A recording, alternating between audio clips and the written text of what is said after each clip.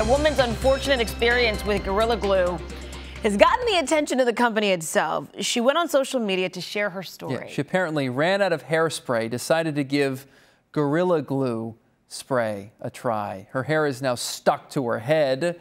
She tried acetone Oh, to remove it, had to go to the hospital. Well, now the company is responding with a tweet. It says in part, quote, we are sorry for the unfortunate incident Ms. Brown experienced uh, using our spray adhesive on her hair. This is a unique situation, they say, because this product is not for use in or on hair as it is considered permanent. We wish her the best. I mean, that's all you could say at this What point. What do you do? Like, it's called Gorilla Glue for a reason, right? Yeah. It works.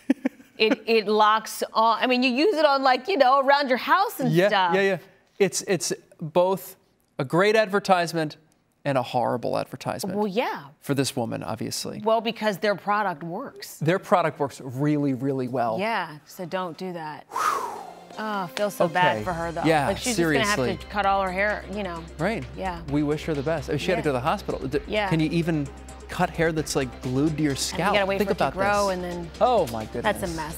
The lineup is streaming now on the free NBC 10 app on Roku and Apple TV.